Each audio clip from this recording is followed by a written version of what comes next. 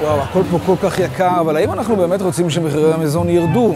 ברור שכן, אבל השאלה היא איזה מזון אנחנו רוצים שיוזל. אם נשפוט לפי מה שקרה בעבר במדינות מערב מפותחות, שם המזון הוזל בדרמטיות ומהר, אז ממש ממש כדאי לעשות את זה בזהירות. למה? בגלל הבעיה האחרת וקוראים לה מכת ההשמנה. בארצות הברית זאת ממש מחלה.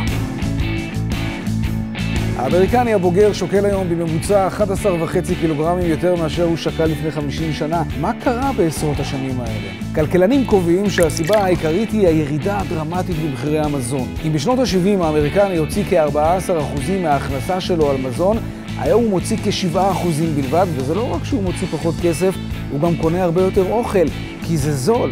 אבל מה נהיה יותר זול? ג'אנק פוד, אוכל רחוב, מזון מעובד, סוכרים, כל אלה הוזלו משמעותית. אז יופי, אוכל זמין ובעיקר פחמימות פשוטות, כמו פיתות עם חומוס, לאפה עם שווארמה, קורנפלקס, בורקסים, עוגות, חטיפים, שמן, פיצות, המבורגרים. והאוכל הזה לא רק זול, הוא גם מהיר.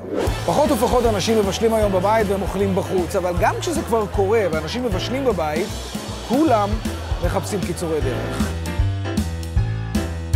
אז זה ממש ממש בסדר גמור ואפילו מבורך ששר האוצר כחלון רוצה להוזיל את מחירי המזון, אבל השאלה היא איזה מזון הוא בדיוק יוזיל? כי אם הוא יוזיל רק את הג'אנק פוד, את המזון המעובד, אז החיוכים בקופה יהפכו מהר מאוד להיות פרצופים עצובים ושמנמנים מול המראה.